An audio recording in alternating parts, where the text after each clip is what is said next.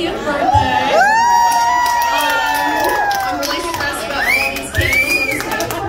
Wait, Wilson, uh, I just want to say that my dad is like the best guy in the whole world. Um, it's been really nice. Um, I'm really stressed about these kids, guys. Um, but yeah, I just want to say my dad's the greatest guy ever. However, I will say if you're buying him a drink, let's make maybe slow down.